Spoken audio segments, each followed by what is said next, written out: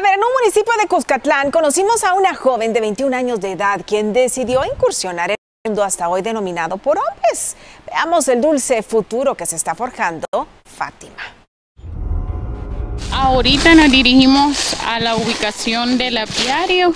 Eh, estamos a, a tres minutos, está relativamente cerca de la casa, pero sí la ubicación tiene que ser bastante certera porque la abeja poliniza y recoge el néctar un kilómetro a la redonda, la zona donde están ubicadas. Entonces por eso se recomienda que sean zonas de bastante vegetación.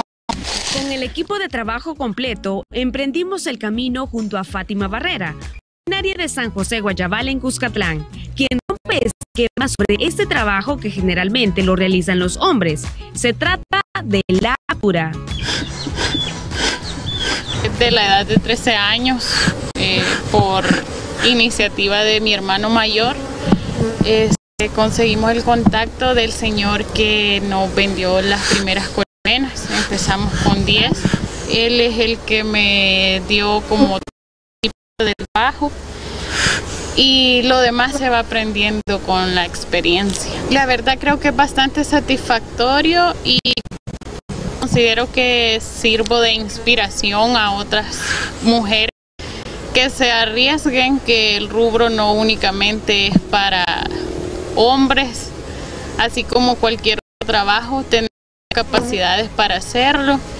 Con el entusiasmo que la al llegar al apiario o lugar donde se encuentran las colmenas, inicia el trabajo directo con consiste nada más en verificar que todo el trabajo dentro de la colmena esté bien, eh, porque por la temporada que hay muchos vientos, tenemos animales que, que tienen las abejas, entonces es necesario estar constantemente en revisión. Las plagas que le llegan son las, las garradoras, hasta los alacranes y cierta vez, descubrimos que un sapo nos estaba dejando pobres las colmenas.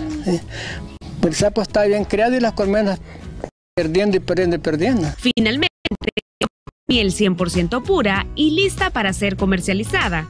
A sus 21 años de edad, esta estudiante universitaria manifiesta sentirse orgullosa de su emprendimiento, que le ha permitido sacar adelante a su familia.